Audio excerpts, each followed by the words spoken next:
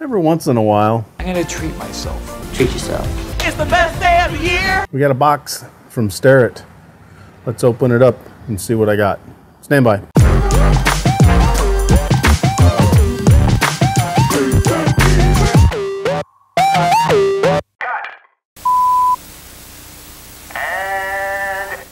Hey everybody, welcome back to our Rattlecan Fab Shop. I am James, and if you follow the channel for any amount of time, you will know that I have a small collection of used micrometers that I have been picking up here and there in order to assist me with my metrological needs.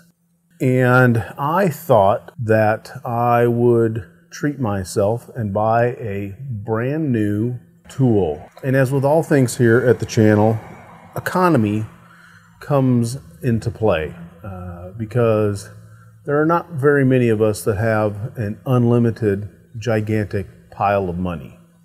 So you have to balance.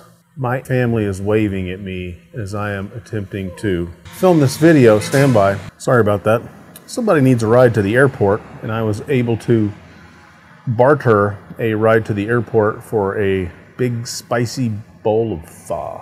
So, anyways, I have attempted to strike the balance between performance and economics, and what I have purchased is a Starrett 0 to 1 inch IP67 electronic micrometer without output. And what that means is that is a it's a part number 796.1 XRL-1. It is a made in China. Okay, now I'm getting another strange look. I may have to I may have to show you what I'm doing. I'm standing here trying to make this video looking out across my driveway and my house there's a window and my wife and my oldest daughter and the cat are all staring at me, and the cat is standing up in the window doing because, well, me poops in a box. What do you expect? So apparently, at least from what I can read, um, one of the big differences between the made in the USA digital micrometers and calipers and the ones that are made in uh, it's either Sochu or Sochao. My um, pronunciation of the Shinesa is a little deficient. Is that if you want if you want to be able to output to a PC a serial cable, you have to. That's a made in America kind of feature. So, anyways, let's reset stuff and we'll look and see what's in the box that I got for my somewhat large pile of uh, American dineros. So, more than likely, what's going to happen is I'm going to buy exactly one brand new instrument, and then I'm going to go right back to buying the ones on the uh, used market and such like that from now on. Anyways, kind of like cars. I bought exactly one new car in my life, and I'll probably never do that again. Anyways, here's the label.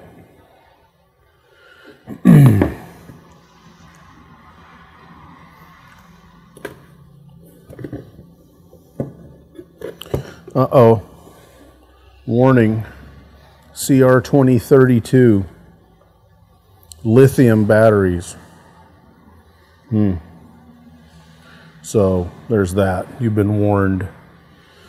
Here we are with the Starrett interior box. We have an inspection certificate from GOO. Thank you very much for inspecting my stuff. And the obligatory user's manual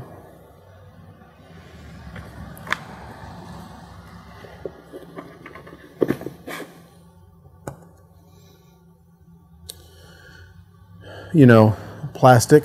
It's part of the, I guess, economy that you get. I don't know if new Starretts come in plastic boxes now as well. It was cool when they came in the old, uh, the old wooden ones. Uh, anyways, these envelopes, these are for the batteries. Who is that by? Renata.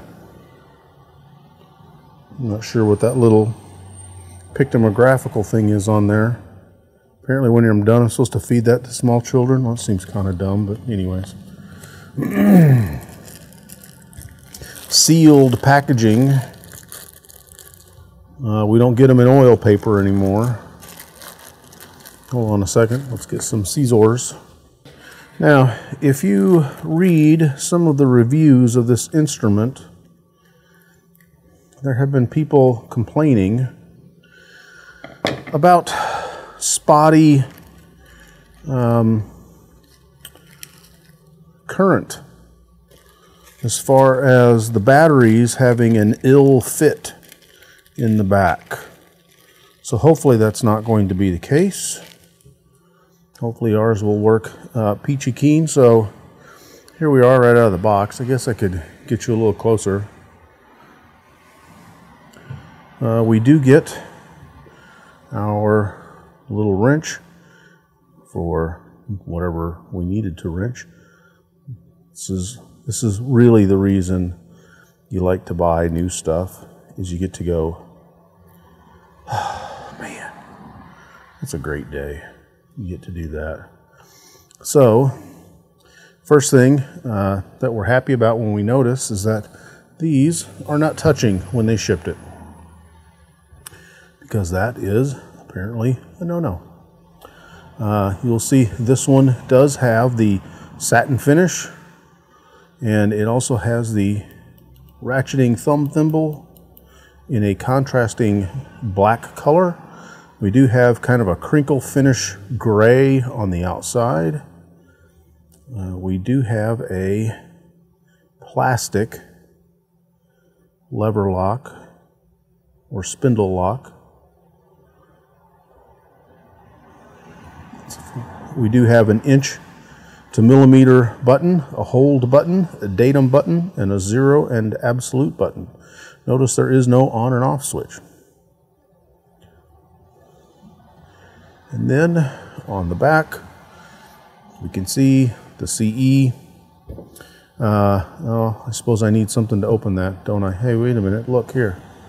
I got one of these. Perhaps this will work. Lo and behold, it does. Now, this does not come with the paperwork that would enable it to be traceable.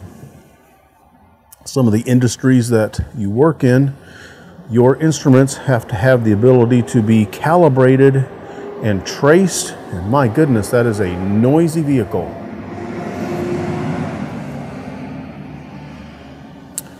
That would be the local fire department guys.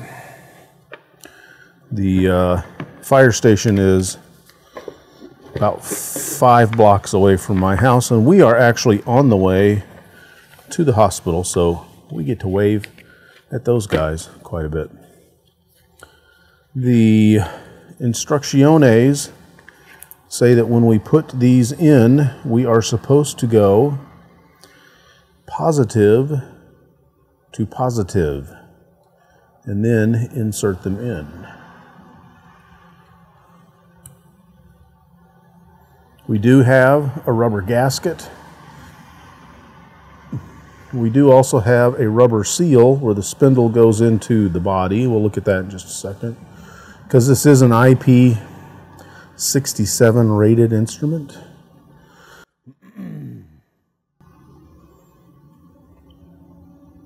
IP stands for ingress protection.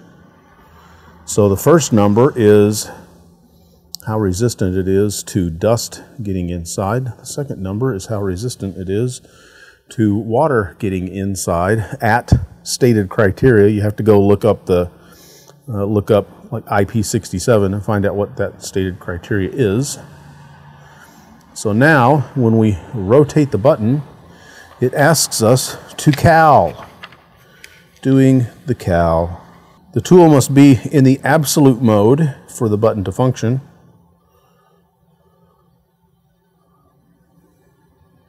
Typically, the datum will be set to the shortest measurement position. For example, if the anvil closed for the 1 inch and 25 millimeter versions, which would be this. So we set that to 0, or do we hit the datum? datum zero. There we go. So now we can open up our fancy schmancy calipers.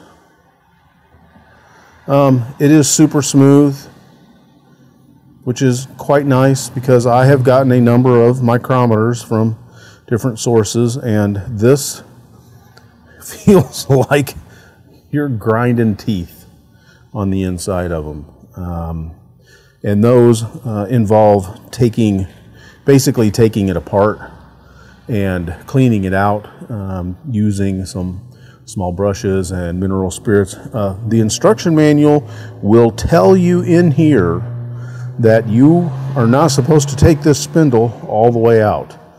You have got one revolution past maximum distance, and that is as far as you get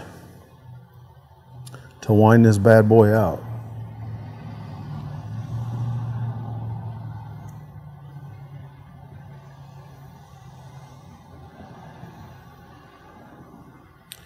So there we go. It, you know, I've had the thing for what? I've had it out of the package for like 17 seconds. Um, it's an it's it's heavy. I will say that. Uh, it is certainly heavier than the other one inch micrometer that I have. Which is this teeny tiny Lufkin. There is a substantial weight difference between the two. I imagine there will be a substantial quality difference between the two as well. So that's what you get in the box. Uh, I'm not even going to give you a first impression of it because I haven't done anything to get an impression of it. Um, but this is going to see, I would imagine, quite a bit of use over the next, well, two years, two years plus. Uh, I guess I could update you and tell you that um, I have now uh, officially changed my one year certificate program, pursuing two other year long certificate programs uh, now into an associate's program, which includes all three of those certificate programs and a bunch of other stuff, including some garbage like sociology and English, which I took in 1995, but anyways, that's another rant for another day. So there it is. That is the, let's get the part number right again. That is the Starrett 796.1 XRL-1 0 to 1 inch IP67 rated electronic micrometer without the output.